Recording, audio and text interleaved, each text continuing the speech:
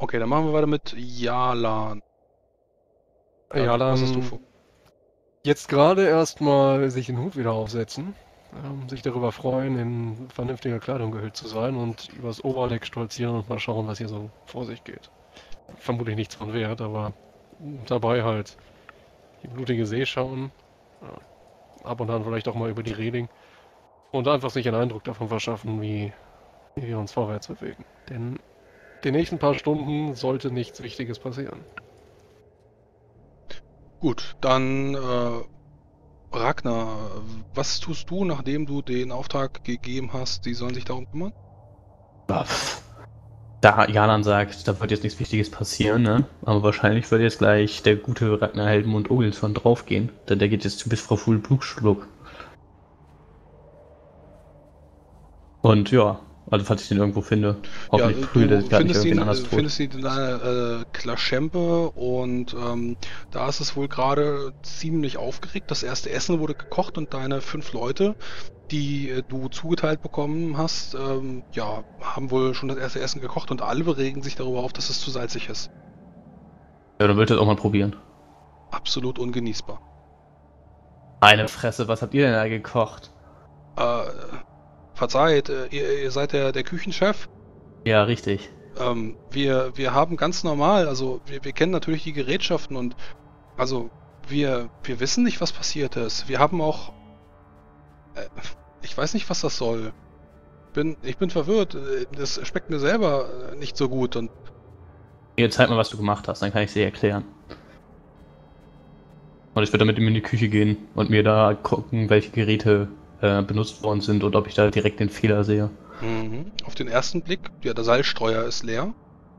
Schwimmt wohl, schwamm wohl in einem der Suppentöpfe und ist wohl reingefallen. Deckel ist gelöst. Hm, da müsste man jetzt neues Essen kochen.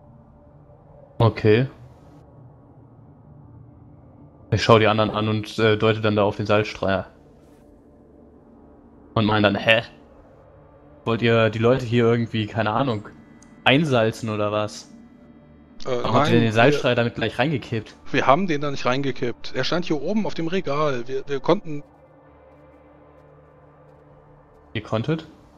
Wir, wir, wir, wir haben den nicht reingekippt. Wir wissen doch, dass man, dass man nicht salzen soll. Gerade wenn wir mit viel Fleisch arbeiten, ist da sowieso schon so viel Salz drin. Wir waren das nicht her. Glaube ich denen das? Menschenkenntnis. Sehe schon, ich werde hier zu diesem berühmten Schaffsko Schiffskoch, nee, Chefskoch. Wie heißt der noch? Ramsay Gordon. Du wirst allerhöchstens Horst Lichter. Außer. Äh, Sie sind wohl davon überzeugt, dass Sie die Wahrheit sagen. Sie sind davon überzeugt. Wie Sie, klingt das Sie, denn? Sie sind davon überzeugt, dass Sie den Salzstreuer da nicht reingeworfen haben.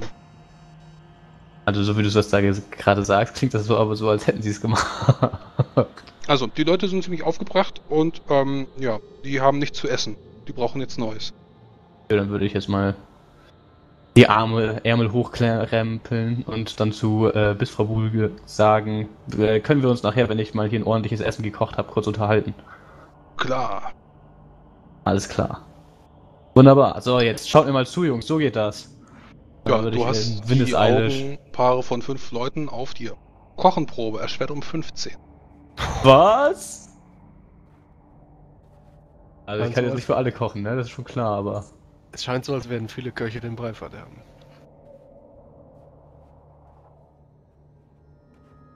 Ich würde gerne die 18 mit Glück neu würfeln, wenn ich Glück habe. Wie er es einfach schafft. Ich würde gerne die 18 neu würfeln. Mhm. Nein! Ich würde gerne mein Schiff dafür einsetzen. Wow. Easy. Immer. Ja, ähm, du merkst, dass der Salzstreuer, du hast ihn aufgefüllt, so wie es sein muss, hast ihn wieder oben hingestellt. Äh, du hast dich gerade umgedreht, da fällt er von alleine nach unten ins Essen und du fängst ihn in einer blitzschnellen Reaktion auf. Und du siehst auch, dass der Deckel abspringt und ähm, ein bisschen Salz, genau die richtige Menge ins Essen fällt. Aber äh, ja, damit hast du die perfekte Kreation erzeugt. Mm. Und das Essen ist fertig. Dann äh, gucke ich mal auf das Regal, ob da irgendwo irgendwas zu sehen ist. Initiative. beziehungsweise Intuitionsprobe, so rum. Oh shit. Weil ich habe kein Glück und kein Schicksalspunkt.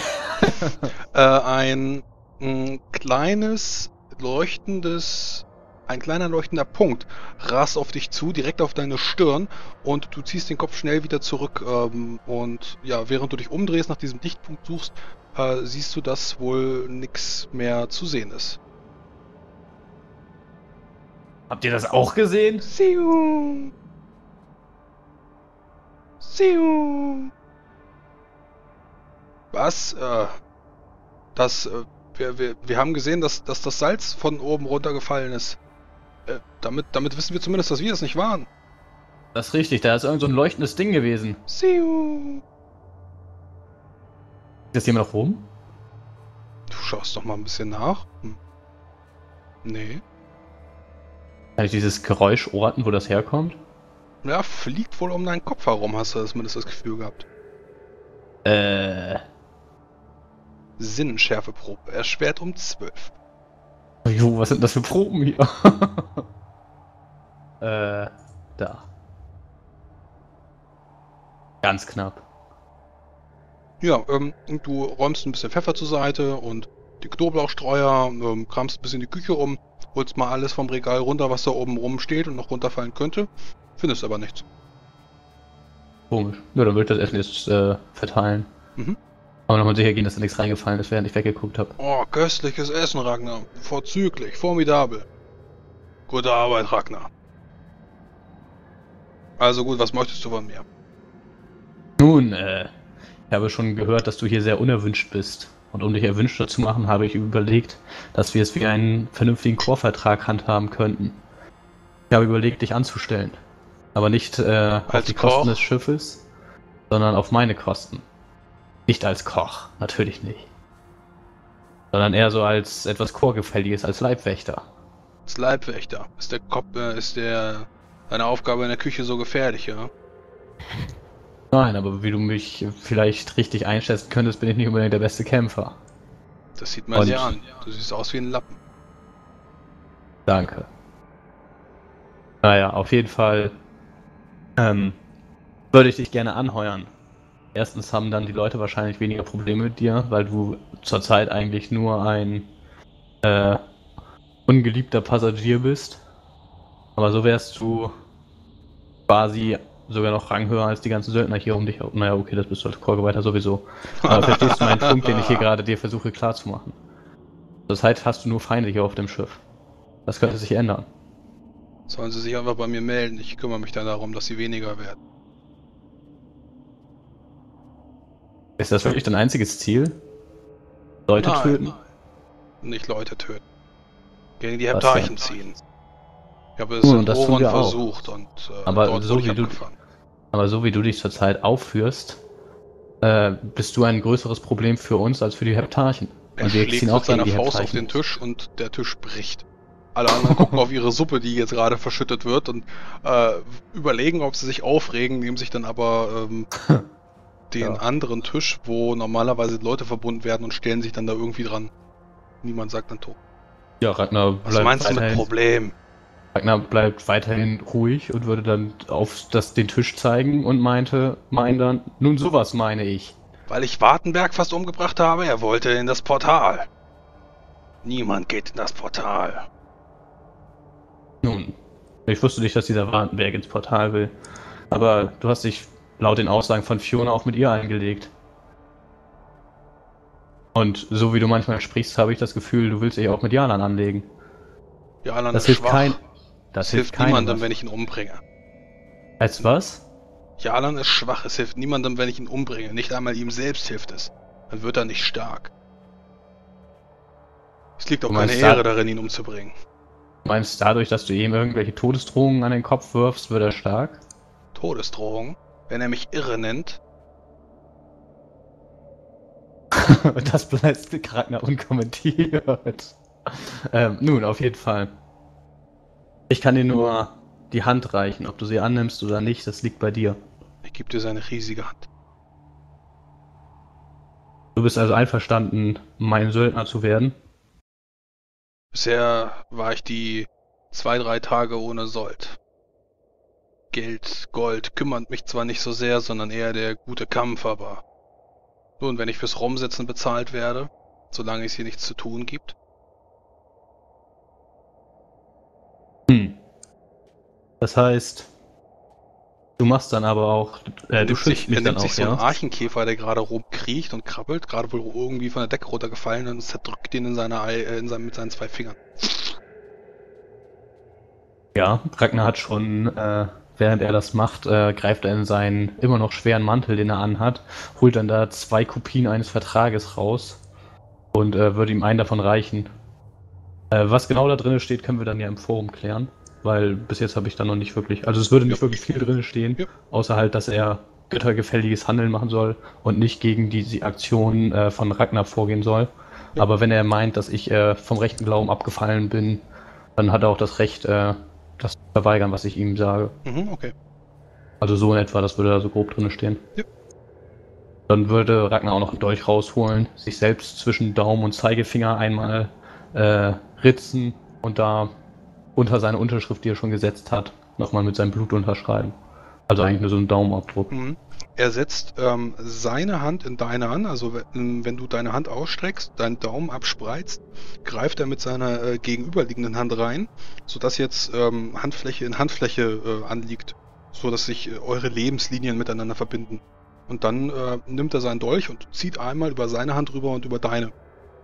Sodass jetzt eine Narbe äh, entsteht, beziehungsweise er nimmt sich noch ein bisschen Salz ähm, von dem Salzstreuer, den du wohl aus Versehen mitgebracht hast, äh, und äh, streut sich dann das Salz selber in die Wunde und dann auch bei dir. Ah! Verdammte Scheiße, was soll das denn? Das sind Verträge, Junge. Ah! Ja, Ragnar schaut sich gerade seine langsam anschwellende Hand an.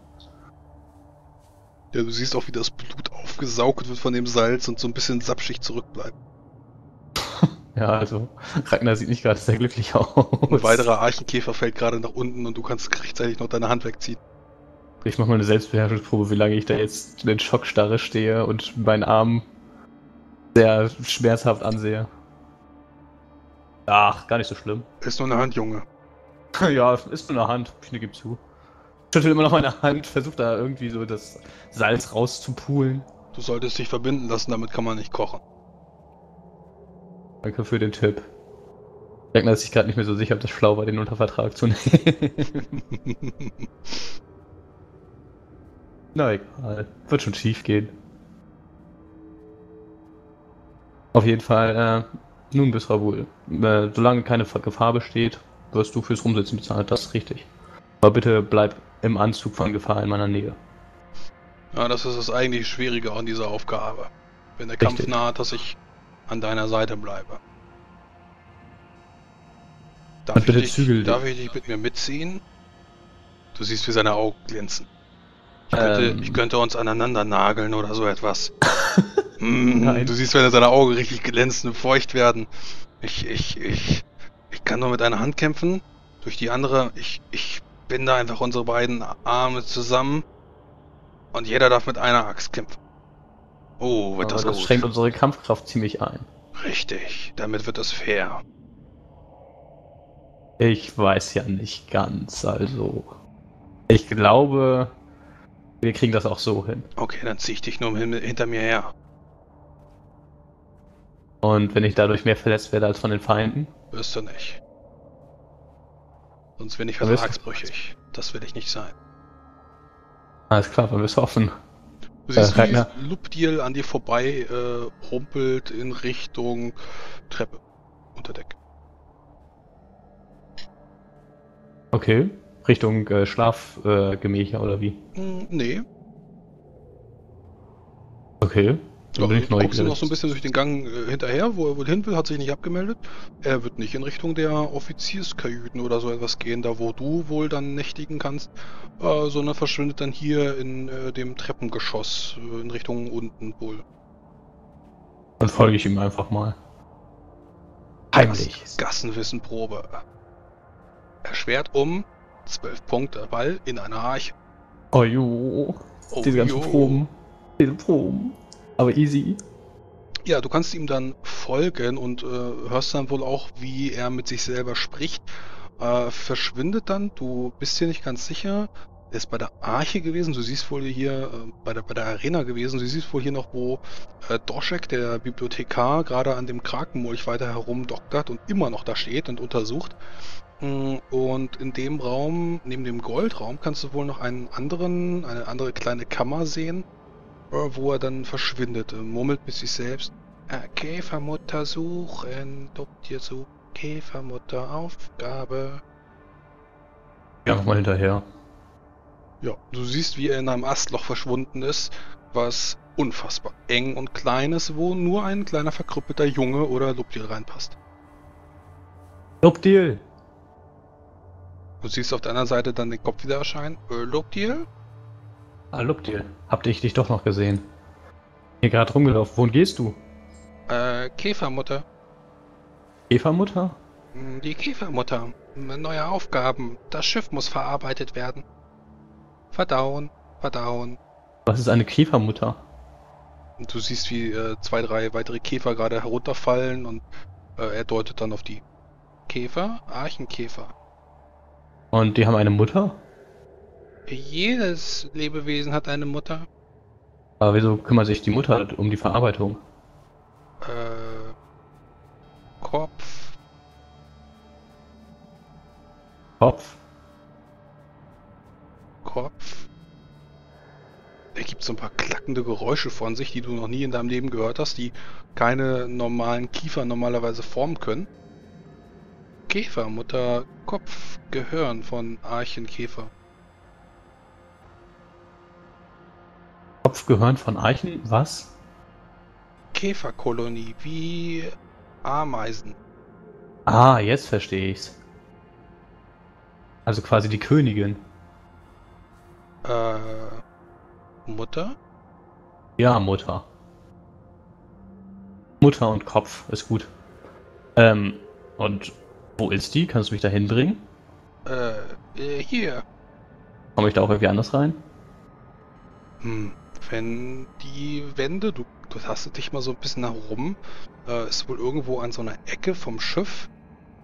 Also, ich sag einfach mal hier, so ein, so ein kleinen, siehst du das? Kleines Geschoss, was da geformt Warte. worden ist? Oh? Ja, ja. Hm, so ungefähr. So, so groß ist es, kannst du diese Ecke abgehen. Aber die Wände führen dann eben so davon weg, dass, äh, dass du da keinen, keinen richtigen Einstiegspunkt findest. Aber du siehst, dass wohl auch äh, über dir auf äh, Deckenhöhe mehrere Käferstraßen dorthin führen. Ah, okay, interessant.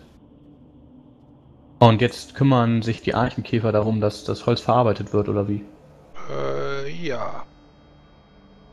Machen die das?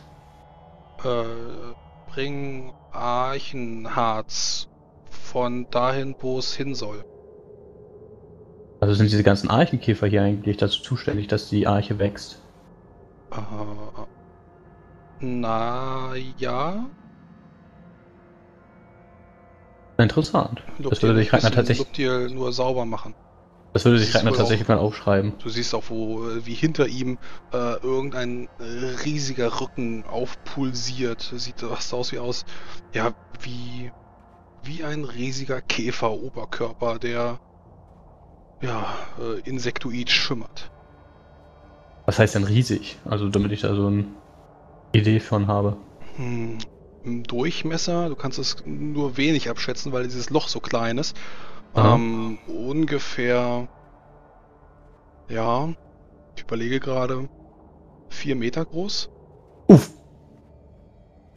Uff, uff, uff. Die Erkenntnis wird erst recht aufgeschrieben. Vier Meter große, mindestens Archenkönig, äh. Und hinter dir immer noch das Schlagen des Herzes. Du weißt nicht genau, wo es ist, aber irgendwo hier muss es sein. Du spürst, mal, wie dein Herz von dem Herz angetrieben wird. Aber sag mal, Luptil, weißt du auch, wo das Herz ist? Äh, Luptil wissen aber äh, Gang zu. Ähm, F hat man äh, Gang zu gemacht. Aber du weißt ungefähr, wo es sich befindet. Er deutet mit seiner Hand aus dem Loch heraus. Äh, die Richtung ist aber dementsprechend ungenau. Okay. Egal, das zeigst du mir doch bestimmt noch mal ein andermal, oder? Äh, Luptil? Anderen mal zeigen? Lobt ihr? Das ist ja phänomenal! Eine andere Hä? Stimme. Kommt wohl von der Arena. Wenn du dich äh, umdrehst in die Richtung, kannst du sehen, wie Doschek immer noch äh, die, diesen Krakenmolch inspiziert. Allerdings hat sich jetzt an dieses Geländer von der Maulgrotte jemand gelehnt. Der Swafni-geweihte Hasswolf. Phänomenal. Ich habe noch nie gesehen, dass ein Schiff so verarbeitet wird. Doschek, schau dir das an. Warum freut er sich? Ja, wenn der da sagt, schau dir das an, dann muss ich mir das aber auch ansehen. Und dann da auch mal rüber. Ja, du siehst, wie. Es sieht fast aus wie. Ja, wie kann man das beschreiben?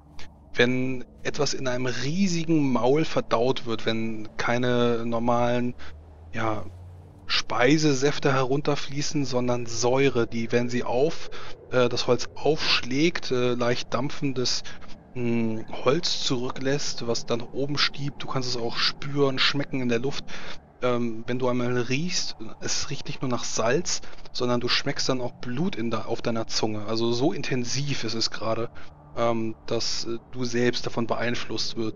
Und äh, hier wird wohl gerade das Schiff äh, aneinander geschmolzen. Und äh, unten läuft gerade eine grünlich-rote, brockige Suppe zusammen. Hm, Du hast wohl auch das Gefühl, dass sich dieses, diese Holzstückchen von der Kogge, es sieht fast so aus, als ob da Fleischbröckchen geformt werden. So, so unfassbar es auch ist, weil, naja, Fleischbröckchen aus Holz, das geht nicht, aber es sieht fast so aus. Ein widerlicher Gestank, der nach oben dringt, dir fast die Sinne raubt. Okay. Was ist daran phänomenal? Sowas habe ich noch Einfach nie nur gesehen. widerwärtig. Guck dir mal an, wie, wie alt diese Kogge ist und was daraus noch gemacht wird. Ja, ein unheimliches Wesen wird genährt. Was ist daran phänomenal? Abenteuer, Junge, Abenteuer. Ja, sieht man nicht alle Tage. Ragnar hält sich nur die Nase zu. Meint dann aber auch, ja. So phänomenal finde ich das nicht. Ich finde das eher widerwärtig. Hast du gesehen, die, die Gänge pumpen. Äh, wenn du dir die Adern hier ansiehst, er deutet mal auf so, ein, so eine rote, blaue Ader. Du kannst es daran sehen. Er klopft einmal so gegen und es äh, gibt so ein bisschen nach, äh, schwabbelt einmal nach innen und dann wieder nach außen. Das ist, das ist, äh, da siehst du es. Kleine Holzbröckchen, die darin schwimmen, in diesen Adern. Ah, ich verstehe. Äh, der, der Fettgeweihte äh, war wohl äh, vorhin hier, der, der Ephadaios. Er sagte wohl irgendwie, dass diese Arena hier umgeformt wird bald und das werden dann Schlafräume. Will wohl ein paar Fenster vor. Ich finde das richtig spannend. Ich will hier unten schlafen. Ist der Swaffengeweihte eigentlich ein Offizier? Das weiß ich nicht, was ihr mit dir machen wollt. Der ist einfach nur hier. Der hat zwei Äxte und damit ist er an Bord. Punkt. Alles klar. Äh, hier hätte ich dich sowieso hingelegt. Ich weiß ja, was für ein Abenteuer du bist und hier ist auch direkt der Ausgang. Super. Gleich hier von der Brüstung runterspringen. Also, wenn, das, wenn das Schiff weg ist und die Säure hm, Ja. runterspringen direkt- und dann irgendwas Direkt ins. Maul einer anderen Dämonenarche und denen dann richtig aufs Maul gehen. Super geile Idee. Darüber muss man eine Geschichte schreiben. Ah, da bist du bei mir genau richtig. Obwohl, ich, ich, ich schaue mir mal ein bisschen fragend an. Aber ich dachte, in Torwall äh, erzählt ihr euch die Geschichten nur weiter. Hm? Ja, ja, wir, Ja. Haben, wir haben natürlich auch die Baden. Die schreiben ihre Geschichten auch vorher auf, das sind die besten. Und dann nehmen sie eine Klampfe in die Hand und äh, singen dazu. Egal. Nach diesem Anblick bin ich ein bisschen berauscht. Ich fang, mach, mach mal das Metfass auf. Hab zwar schon Da eins bin ich auf auf der jeden Fall Reise bei einer Runde gelernt, dabei. Wir haben ein Metfass an Bord. Da bin ich auf jeden Fall bei einer Runde dabei. Klar. Äh, auf der Reise hat der Swafnik-Geweihte zwei Metfässer mitgenommen, eins hat er auf der Fahrt getrunken. Gut, Ja, was wollen die anderen machen? Fiona und Jalan. Ich habe Dinge vor, aber machen wir Fiona erst. Die Ähm, Zeit vergeht so würde- äh, sehr modular. Ich würde mich darum kümmern, dass tatsächlich auch die äh, ganzen Munitionen dahin gebracht werden, wo sie hin sollen. Dass die Waffen, also beziehungsweise die Rotzen und so weiter, richtig angebracht werden. Nochmal alles überprüfen. Also sehr, äh, ja, perfektionistisch. Und ich denke mal, das wird einiges an Zeit einfach in Anspruch nehmen. Also muss man jetzt nicht konkret ausspielen, aber ja, wird mich auch nur ein bisschen mit dem, äh, dem Braun unterhalten, der gerade bei mir war. Ja. Und ihm halt so ein bisschen erzählen, auch äh, was ich dann eben erzählt habe und ihn so ein bisschen einweisen, wer halt wofür zuständig ist und ihn auch mal ein bisschen fragen nach dem Können seiner, seiner Männer, die er dabei hat.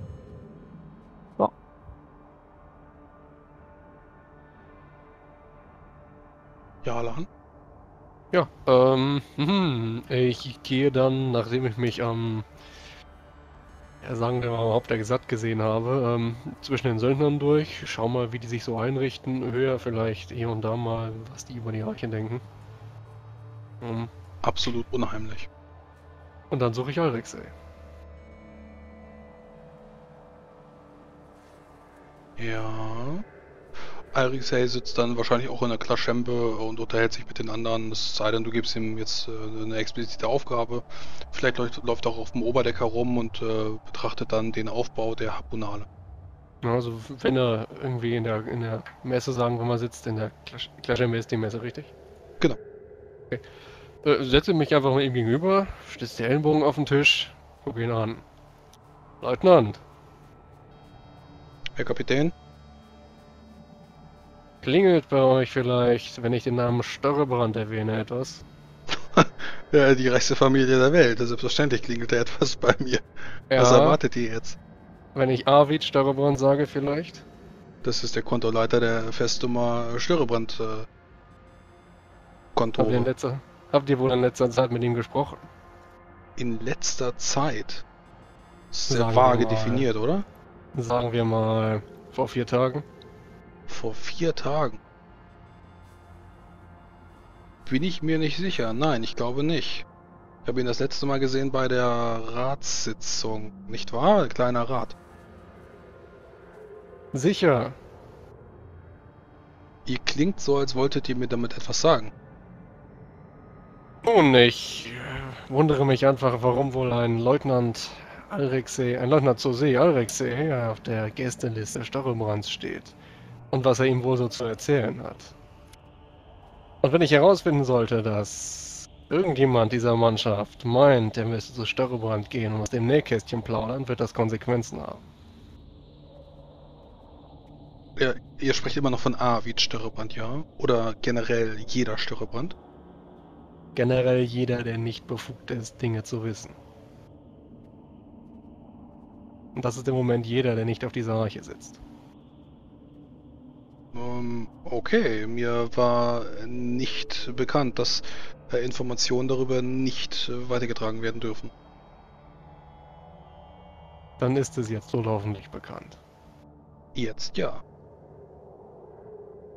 Oder hebe ich mich und gehe weg. Und es wird vermutlich auch langsam dunkel. Ähm, und sehe dann zu, dass ich mich in Iri Balgors Kabine einniste. Und dann wenig Schlaf bekomme.